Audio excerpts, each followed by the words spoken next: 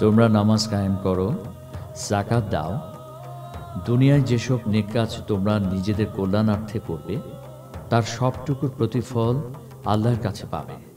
আল কোরআন